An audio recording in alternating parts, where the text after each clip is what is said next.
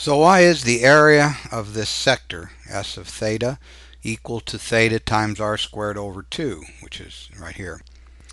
Well, what we've shown is this inequality here. But also, see, 1 plus epsilon is bigger than 1, and so this thing is smaller than r squared over 2 times theta, and that's smaller than this thing.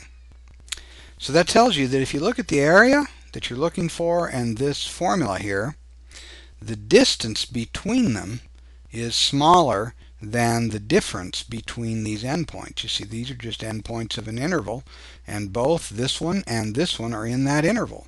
So therefore, they're closer together than the length of the interval. So I take the length of the interval. And simplifying, I get this. Now, this is true for any epsilon bigger than 0. And you can see that if you make epsilon really, really small, this can be made as small as you like. Therefore, the distance between these two expressions, the area and this formula, the distance between them is smaller than any positive number that you care to pick. That means the two must be equal.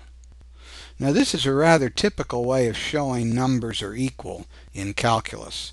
You often show that their distance is smaller than any positive number that you care to pick.